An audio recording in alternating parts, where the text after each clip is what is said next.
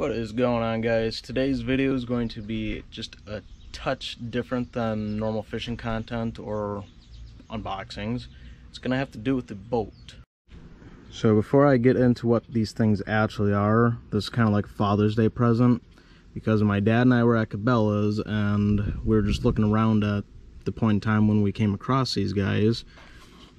There's switches for your boat batteries and my dad saw the price on them and he was just blown away because the cheaper one, which would be this one right here, was $25 at Cabela's and then the more expensive one, which is right here, was $55. So you're looking at like $80 just for switches. Well, I got both these guys on Amazon for like 30 bucks total from actual decent sellers with good ratings. So I figured I might as well give them a try. Again, before I explain what those guys are, I'm going to explain the battery and wiring situation here in the back because it'll help you guys understand that a lot better.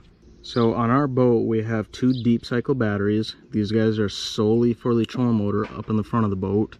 And then in that shadow back there, you guys probably can't see it, but we have a cranking battery and that guy's sole purpose is just for the motor right there. So both these switches have slightly different purposes, but I'm going to explain the one thing that they both have in common, and that's kind of why my dad really wanted these guys in the first place. So when we get home, we unplug our batteries entirely, trolling motor batteries and the cranking battery, because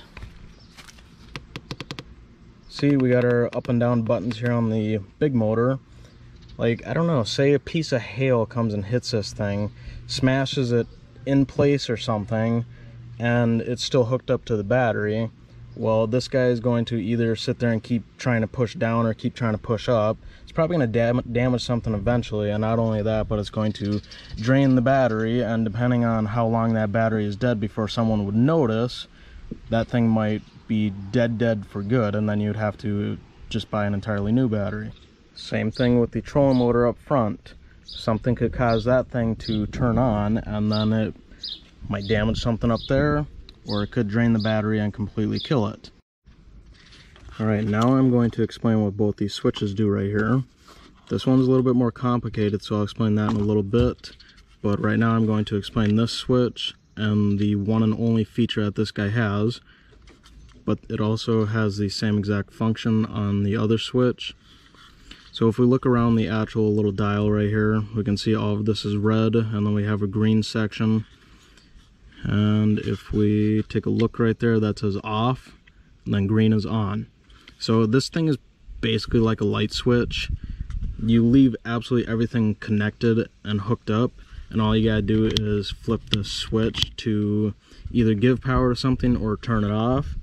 So originally, when we would get home, we would open up this compartment, unscrew the power from the battery over there and then just like you know dangle it over the side so that nothing can take that battery's power. You know like the engine example I gave you guys. But then the thing is next time we go fishing we just got to hook it up again. Then we come home we got to unhook it so this guy pretty much eliminates all that nonsense all you literally got to do is flip a switch every single time you want it to have power or not to have power. All right, so we got the basic on-off switch out of the way. Now you guys know what that thing does. Now with this guy right here, this is for our trolling motor batteries. And remember, we have two of them, so this guy's a little bit different. So now if we look on this one, the majority of the dial is green, and then we just have a little red section, which is the off section. If we look right here, we can see two, one and two, and then just one. So the way this thing works is you hook up each battery to their own individual stud. So like say battery one, then battery two, then you hook up whatever it's powering right there. So then we have it pointed to off. And like say we hit the water, and then I want to draw power from the first battery for the trolling motor. I'm going to flip it to 1. And then say that battery dies. So I'm going to flip it to off. I'm going to flip it to 2 right there. so that I can start drawing power from the second battery. So this again eliminates the need entirely of ever having to essentially swap the trolling motor wires right here from the first battery to the second battery. But then again on this guy, it's pretty much also like the other switch where it has an on and off section. So whatever you put it to, either the one or the two, or the one and two, depending on how much power you want to draw from the batteries. This whole entire green section is the on section. And then you get home from fishing and all you do is flip it to off and then no power can be drawn from your trolling motor batteries anymore. So location wise, you can put them just about anywhere. It depends on how much wiring and all that stuff you want to do. But we're just going to install ours right here, right next to the batteries. And it's also a good thing I asked my dad where he wanted me to put them because originally I was going to put them way up there right next to the steering wheel. But as you can see, when we have the cover on the boat, it's not really a very easily accessible area, especially when we're home right here and this is a very easy area to get to. So I'm just going to install them right here. You guys can hear that's pretty hollow. The reason why is because we have our compartment right here. Obviously we would not be able to do that if the live well is right there. The live wells are right here though. So I'm gonna install them over here. It's not really gonna be that big of a deal if a bolt goes through into that compartment because being that this is also so thin so, something like a self-tapping screw probably will not hold it in place so using a nut and bolt would probably be the way to go. First things first i'm going to take both the trolling motor batteries out.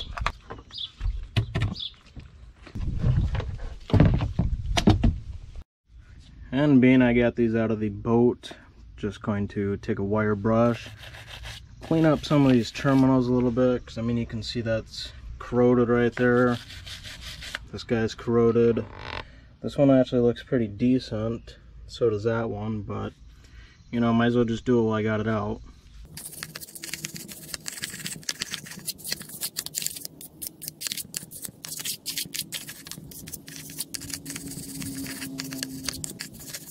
Going to show you guys something on these things.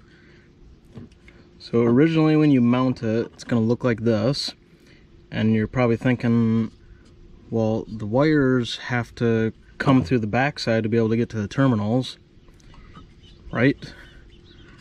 All you do is take your little door out and you got plenty of room for the wires to come in through the side. So that's what we're gonna do is take those little doors out. So now we got to figure out exactly where we want to mount these guys so I'm thinking I'm gonna have the trolling motor one way over here like this and probably have the cranking one just a little bit over. Gonna have to mount it a little bit higher like that, keep it out of the way. So, gonna, I don't exactly know how I'm gonna mark the holes yet where I wanna drill these guys because this piece is so deep right here. Oh, gonna go get a drill.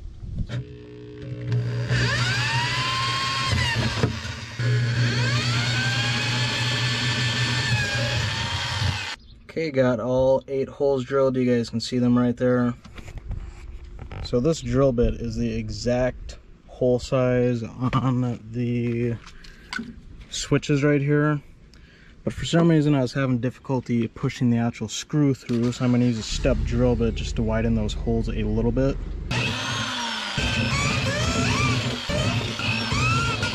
And next thing I did was vacuum out all of our little shavings, because you know, we're not a bunch of animals, so we're gonna make it all nice and neat. Now the next thing, these are the terminals for the trolling motor. What the heck kind of crimp job is that? I mean, it obviously is crimped, otherwise it would have fallen off by now. But 100% I'm gonna chop this off. I'm just gonna chop off the positive right here and actually put the terminals on the right way and put some heat shrink over them. These guys right here are my connectors. 100% want to make sure that the wire actually fits inside the hole before I start chopping everything off. And as we can see, it's clearly not as big as the other hole, but the wires should be able to fit inside of it. So, I'll chop it off. And usually with thicker wires like this, you gotta go a chunk at a time.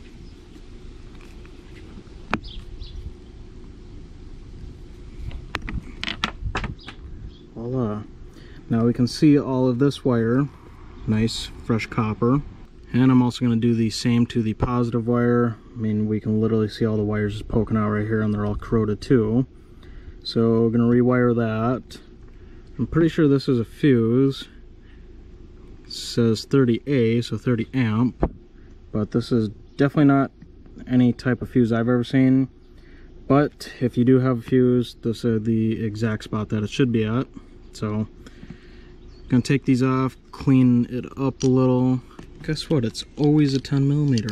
Always.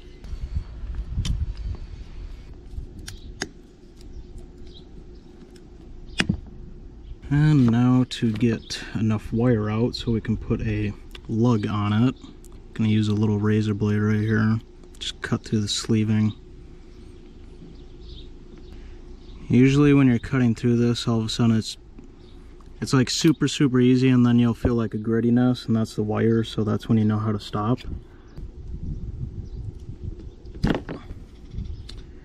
There we go, and I probably could have cut even more sheathing off.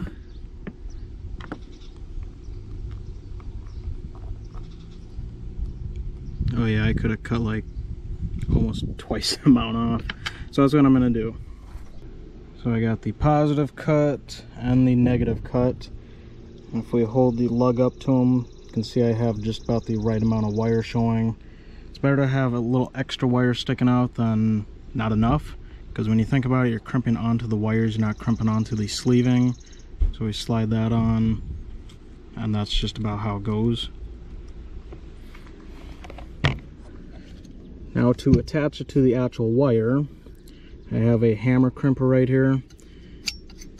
You can use a hydraulic crimper, but this is a lot cheaper. So all you pretty much do, you got your wire inside of here. Stick your lug in there, and it's spring loaded so it holds it in place. And all you do is whack the top right here with a hammer. I also have it on a piece of wood, so I'm not just whacking this thing right on top of the door because when you think about it you're putting all that force on this little area versus you put on a piece of wood. It's taking up that whole entire larger area.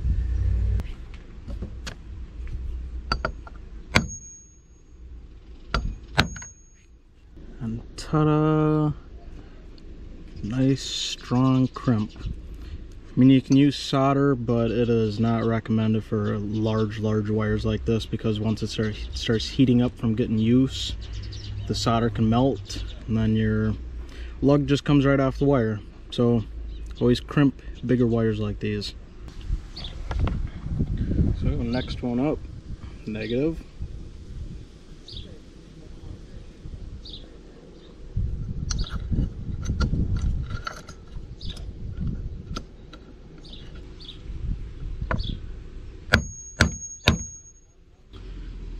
And voila negative on there nice and tight. Next up gonna put some heat shrink right here so no water or anything or moisture can get into that little gap right there and slowly corrode our wires away. Now this is a heat gun. It's not a blow dryer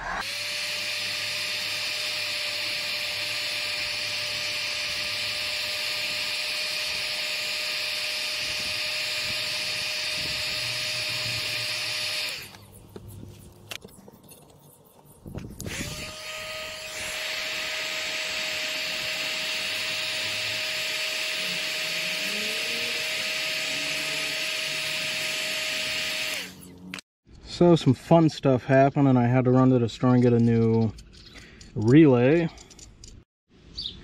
So got the trolling motor wire here with the new relay, new fuse. And this looks really funny because I had to add that extra nut in there because I didn't have anything small enough, you know, washer wise.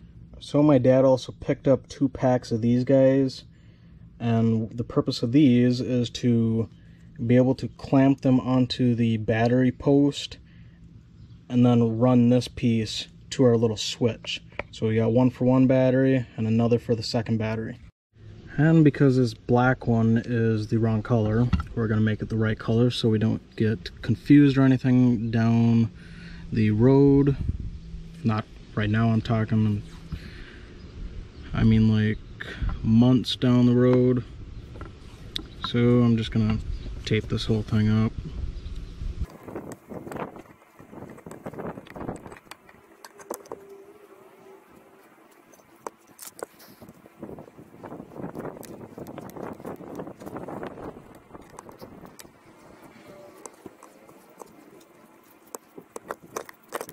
Okay, now we just went from a black wire to red wire. I'm also going to add some heat shrink on these guys because even though they are crimped and you know obviously they're strong water can still get into that little seam right there. Not saying that it's going to but it can. Condensation too. Start corroding the wires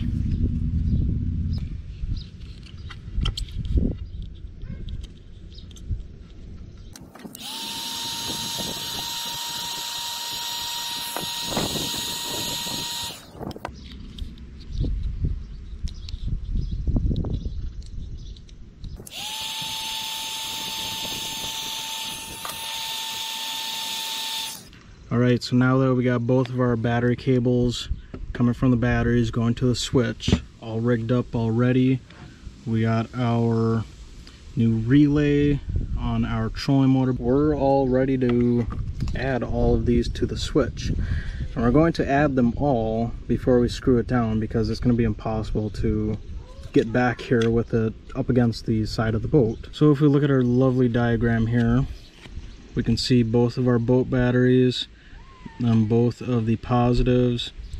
We can see them going to it's kind of it's kind of hard to see but it's it's in a triangle pattern. And both of those ones are right close next to each other.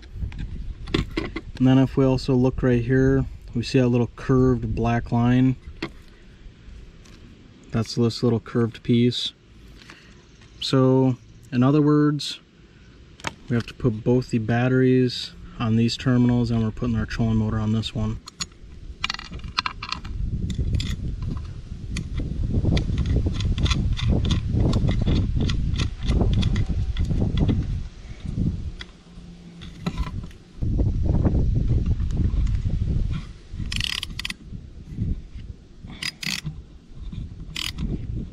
Okay, that is plenty tight right there. Definitely not going anywhere and it's not going to matter where I put either of these wires. So just gonna hook them up. But I'm gonna have one coming out each side just so it's not all cluttered and messy looking.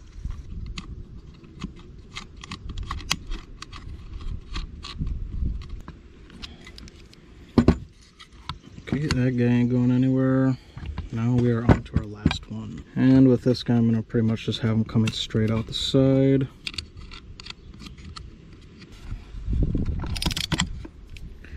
right all of these are nice and in place now we can actually attach this to the boat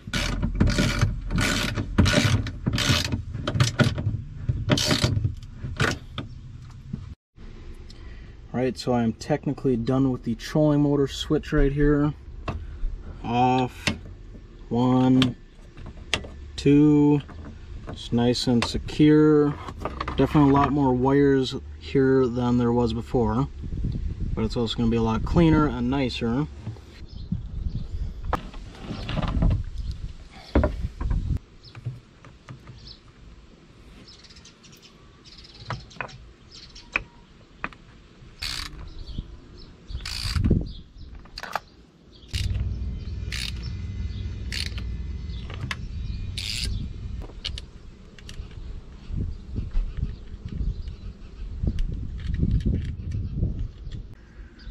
Alright, so I got both the positives hooked up, and then I got the trolling motor negative on this battery's negative terminal. But I don't know why my dad just doesn't have a wire connecting these two negatives. And I'm gonna have to ask him about that. He's not home right now. But as of right now, still gonna have to come back here and swap over the negative to this one. Gonna get on the trolling motor, test this guy out. Turn the switch to one. I think I'm kind of stupid sometimes, so I turn the switch on the side on, but I forgot to turn the little dial here actually to one of the speeds. So if I pull that, you guys can see that one has power. Switch it to number two. And to get the second battery to work that does not have any wire running to the ground, I'm gonna have to make up a wire for that. All I did was use the alligator clip my dad had back there. I guess that's how he's been doing it all these years. I just clipped that to the other battery for the negative and it works. So just gonna leave that on there for now and then tighten that up. But I we really need to get a new wire for this thing because if anything this is the worst wire out of them all. And I got it pointed straight down now for the off position, so we're gonna test that. And nothing's changed up here. And As we can see, it does not have power. And all of our settings are on. Now they're off, so exactly what we wanted to happen worked. So remember we are done with the trolling motor batteries. Now we're on to the cranking battery. Now these two wires were just on the negative, and then all of these wires right here were all on the positive. And we can see these two big wires right here are our negative and positive. And just looking at these guys, they are pretty big.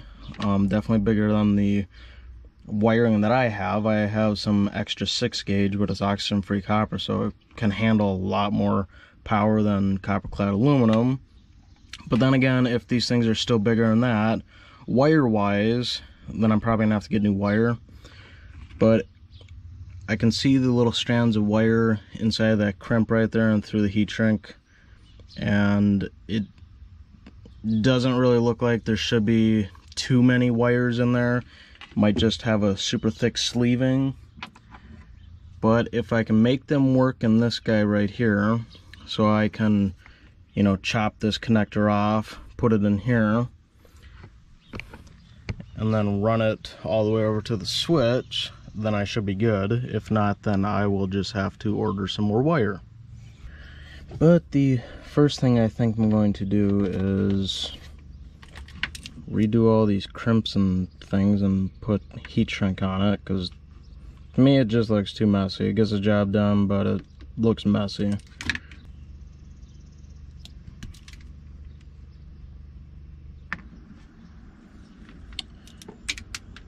Oopsies, I didn't see the lock wash on there.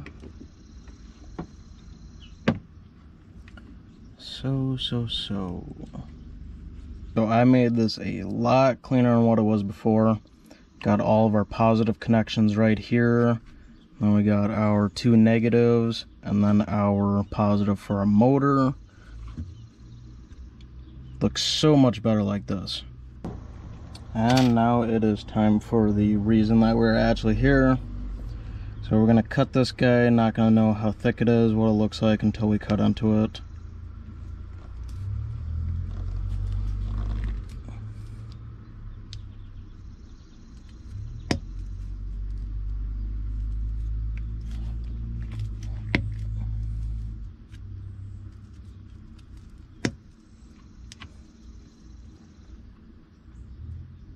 Alright, that is pretty thick. I don't know if my wire that I have is that thick. Well, I think I'm probably just going to have to stop right about here because I'm going to need to get some bigger wire. Not sure exactly what size this is, but this guy right here, I used it for a wiring project on my truck, and this is pure 6 gauge welding cable. So I'm guessing this is either one or two gauge or zero. Not quite sure.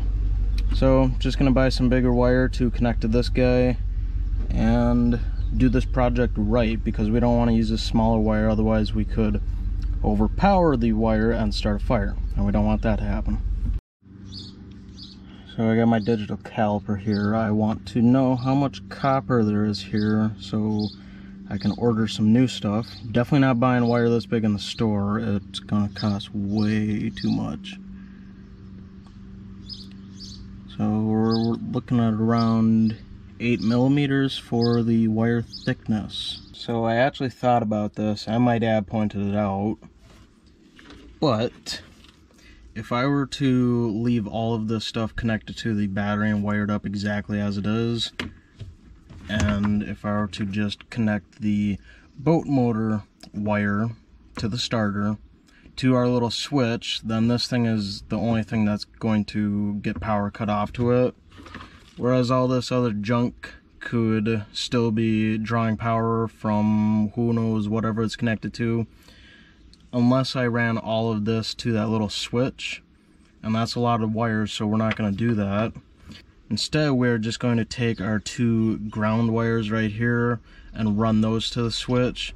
Because in a system, if you don't have either the positive or the negative hooked up, nothing's going to work. So if we run our negatives to the switch, it's going to act the same way as if we ran our positives to it. But first things first, we're going to patch up our positive wire that we cut off, put a new, wow, that thing's almost big enough just to fit the whole entire insulation and everything in there. Gonna put a new lug on the end of this, put some red heat shrink on it so we actually know it's the positive cable. About that far down.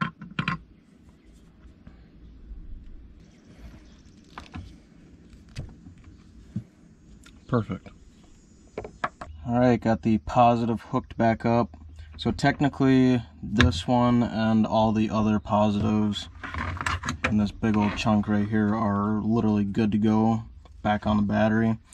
So now we are just going to cut the negatives apart.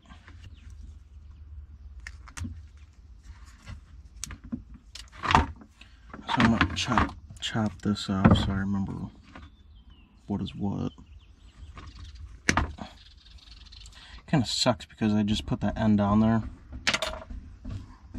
Make it look all nice and pretty. Oh, gonna have to dig that out of the bottom of the boat. I also hate it when people don't use adhesive line shrink wrap. Otherwise it's literally meaningless. And here's also the new wire that I have to run from the battery over to our switch over there. This stuff is super heavy duty. Can see exactly what I bought right there. Why not? This stuff is absolutely massive. It's actually bigger than the wires that are already on here. You can see the size difference. And this wire I liked it because it came with some shrink wrap and also these battery lugs. Now these battery lugs fit absolutely perfect on these. I mean, it's not crimped or anything and it's holding on there. So being that this wire is slightly smaller, I had to absolutely really whack it down and you can see I pretty much dang near concave that thing to get a good crimp on it. Should hold up right there. But before I connect the new wire to our old negative wire, I'm going to get the rest of the connections all done so I don't have to sit there and monkey with it up here. So all I have to do is So all I have to do is connect this wire to the old wire up here and then the rest of the system's already in place because this ain't really a good workbench and there ain't any room to do it down in here and then this wire is only this long, so I'm pretty much forced to do it up here, and it's kind of a pain, so...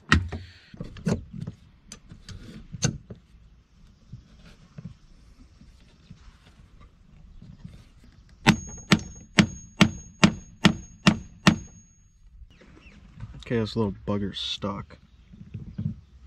Crimped quite a lot with it, and I've never had it get stuck.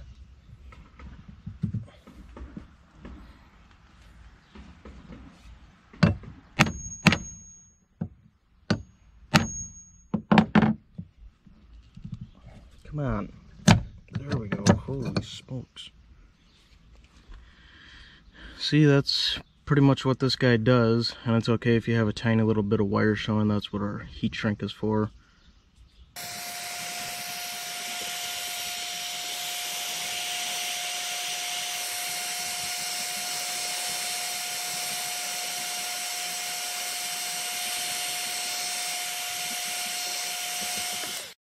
Alright, now to connect the wire we just crimped to the wire from the motor, we have a butt connector.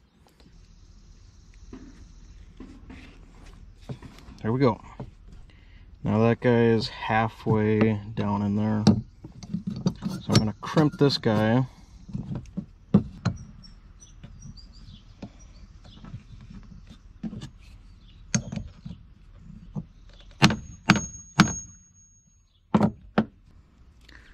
Oh well, this thing is definitely not going anywhere.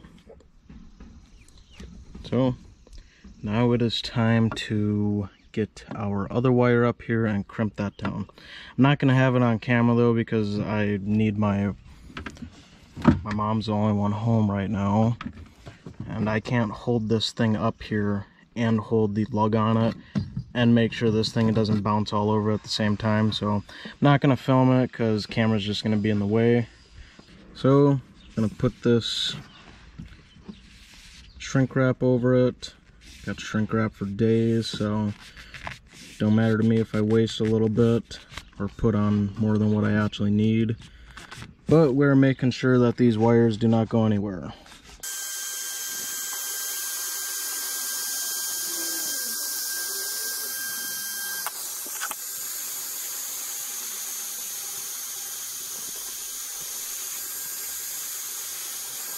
Right now officially our boat battery wire is fully done.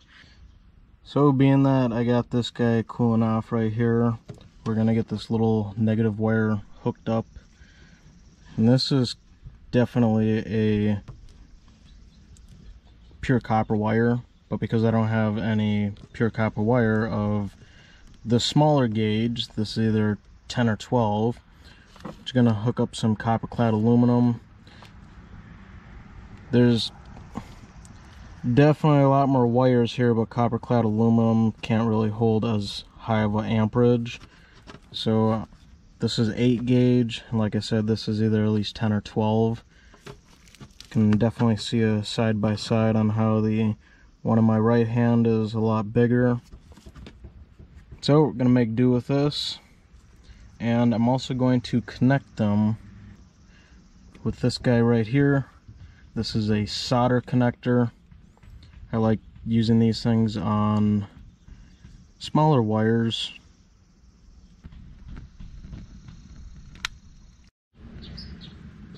Alright, so now we got our two negative wires ran over here, both heat shrinked, all good to go. And they're going to both connect to the switch. But remember, we have two posts, so now we need another wire that runs all the way back to the battery from the actual switch. And the kit I bought came with 5 feet of black and 5 feet of red. So we're using this remainder 5 feet of red to go back to the battery from the switch. And see, that's what the hammer crimper is supposed to look like. Nice and neat. Then I also made a spare little cable to connect both the trolling motor batteries. And this one turned out nice and neat too.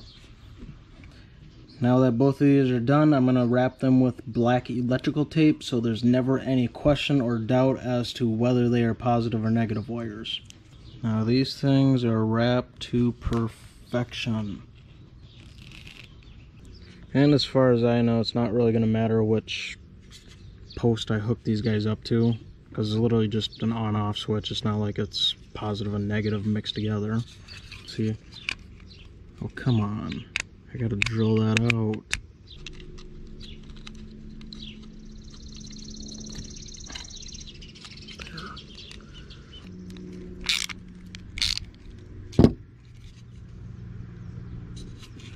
It's pretty solid. Okay, yep, that definitely ain't going anywhere now. Now I can connect this guy. I also have to drill the hole out on this thing too. So then we're gonna have this guy coming in this way. Where's all my stuff? Got so much junk up here. Okay, where's the... Okay, here's the lock washer. Oh, where the heck did the nut go? There we go.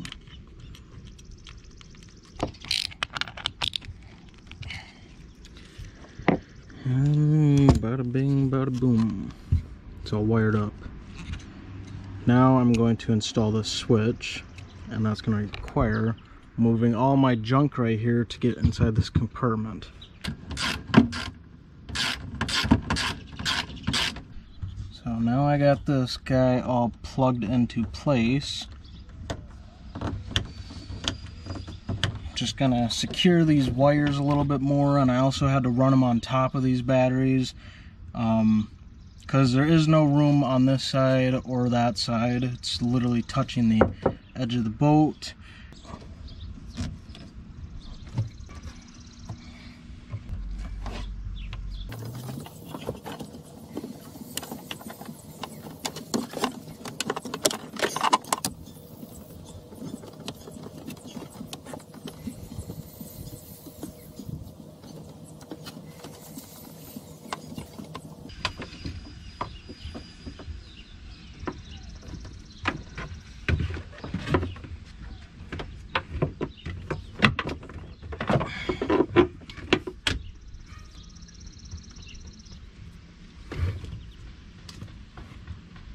I think the cleanest looking spot for this wire to lay would probably be right up underneath here. And to do that, I'm gonna get a zip tie and I'm just gonna, I mean, you guys can see that little tiny hole right there. And there's another one right there. I might be able to get a zip tie in there. If not, I'll just enlarge that hole with a drill bit a tiny bit. Oh, That'll fit.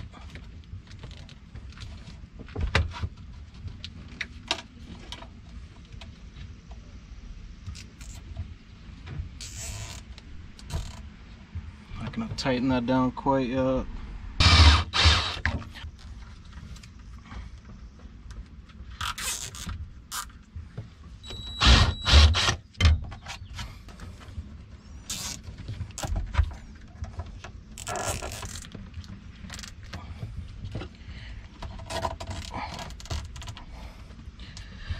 Voila, nice and clean looking. Well, I'm also going to put something extra on here, an actual battery post, clamp, whatever you want to call it. But the issue I'm having with this is we got the nuts on the, this side, so that's the side you got to tighten down. But when I stick it down here like this, you can see it lays nice and flat. But then the nuts are right here, and literally right there is the side of the boat. It would work perfect if I could turn this upside down, but because that hole is angled, it's not gonna even go onto the battery post. So pretty much forced to lay it like this and because of this wing nut I can't have this crooked or anything. And I gotta use a stupid uh, wrench to tighten it. I absolutely hate wrenches. Negative all hooked up all good to go. Now we're on to the positive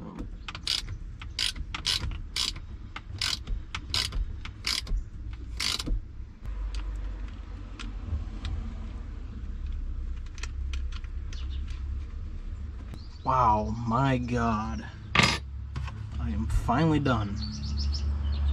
And now to prove that our switch works. Got our motor right here, got our up and down. You can see these buttons do absolutely nothing right now. Switch this guy to the on position. Oh, voila. So, both switches are operational and it turned out exactly how it was supposed to go. And let's not forget about our little negative wire connection we made here so that we can get rid of this rusty, atrocious looking thing. Ow.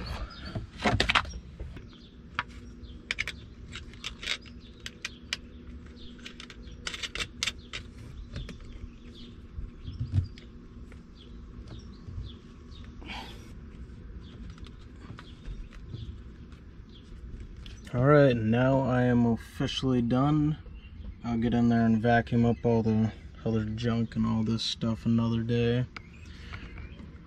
So we got our trolling motor disconnect switch right there and our motor disconnect. So we got our first battery running into our switch on the right. Our second battery right here, it's running into the switch on the left. And then the wire coming out of the bottom goes straight to the trolling motor. And then our battery over here we have our two negative wires the blue wire and this black wire right here running into our switch. And then because they're physically connected to the switch and touching each other we only need to run one back. And that's the one right here that I got wrapped in the electrical tape. So then if we take a look, we got our one single wire coming back right here, hooked up to our negative on this battery. And then all of our positive connections, we got our main motor right here, hooked up right there. And all these other little silly wires hooked up to this wing nut. And if you ask me, this turned out a lot cleaner than what it was before. And it's actually done the right way. I almost forgot to mention our big old negative wire right here connecting both the trolling motor batteries. Um, well, that was pretty much this whole project. Just made life a lot more simple in the future, a lot quicker. All we gotta do is flip that button to on when we want to use the big motor, get done fishing, come home. All we gotta do is switch it off. And with the trolling motor switch here, it's pretty much the same concept. It's in the off position right now. We hit the lake, turn it to the on position for battery number one. Then after this guy gets depleted, switch it back to the off position and then go to number two and then we're just using juice out of the second battery. And after we drain the second battery or we go home, just flip it down to the off position and we don't got to disconnect absolutely anything. And I also don't know if I mentioned this earlier in the video at any point in time, you know, in all of the recording time that I've spent filming this project. I'm sure we'll get some people who question why don't we just hook up both batteries to the same wire to go into that switch and then we can drain both of them equally throughout the day. And the reason why is because first off our trolling motor is only 12 volt so these 24, 24 volts total would fry it but then also you can wire them in series, parallel, all that, whatever. And then you can get a constant 12 volt source, and then we could power a trolling motor that way, you know, based off of the two batteries. But the issue with that is then we are using both batteries at the same time. And what we like being able to do is when we have this to the to the one position, it's just draining one battery, and then like say that lasts six hours then all of a sudden when this battery dies and we got to switch it to this guy, then we know we pretty much got around another six hours to fish. So that just makes life a little bit easier having them separate because if you're fishing all day long and you got the trolling motor on max power and it's draining both of these at the same time, if you got it on max power and it's super windy out, you might only get four hours worth of battery out of it before you realize, oh, hey, I didn't take my foot off the trolling motor all day. Versus, say you had only one hooked up, and then like two hours in, you're like, oh, wow, I guess I really haven't stopped running the trolling motor at all. I'm going to have to slow it down a little bit so I can keep fishing throughout the rest of the day or find a calm spot on the lake.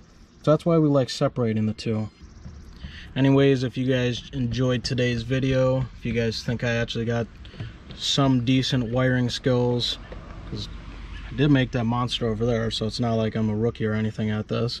Um, but if you guys think this project turned out good or if I helped you guys install your own battery switches make sure to stay tuned and I'll see you next time